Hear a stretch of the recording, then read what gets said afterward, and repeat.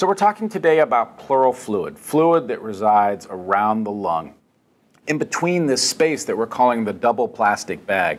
But what we're talking about is the evolution from symptoms associated with pleural fluid to diagnosis of the pleural fluid to now how do we manage it long term. Because my goal for you is that you recognize that you have options for independence and independent living, despite the fact that the fluid may be building up. So what I'm going to talk to you right now is called tunnel pleural catheters. Now, tunneled pleural catheters is a generic name. It is not like what you typically think about when drains are placed in the chest. And I want to sort of dispel that myth right up front. Because oftentimes when people are told, well, we're going to put a drain in, people think about people that they've known who've had operations and have drains hanging out and continuous drainage. What I'm talking about is something that is designed that only you and your loved ones will have to know about, things that can allow you to go back to work, to enjoy sports and travel, things that really give you independence. So what are these tunnel pleural catheters? They fall under many brand names, and depending on who your practitioner is, you may find that they use something called PleuRx, or they make something called a Aspira, or they may use something called Rockets. They're just different names, all for the same thing, but these are all devices that allow you to go home and manage your pleural fluid on your own. So these are catheters that are placed typically in your side. We already know when we put them in a couple of really important things. Number one, that you have pleural fluid.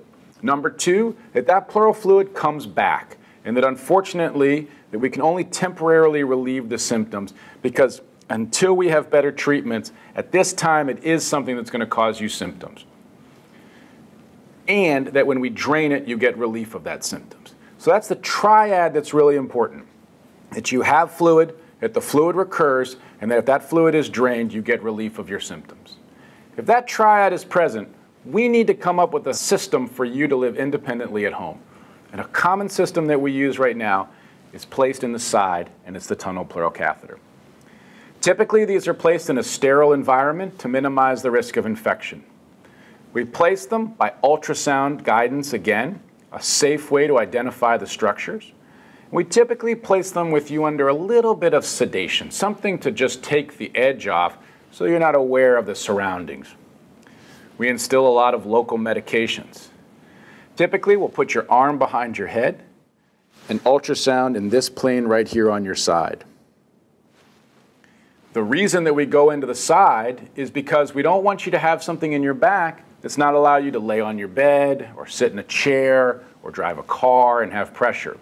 We typically find that people have much more freedom when their side has a catheter and not their back. The catheter is tunneled, just like the name says.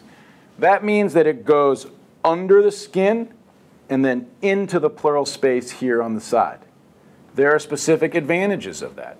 That allows you to be at home with it. That minimizes the risk of infection and it minimizes the catheters being dislodged. And it allows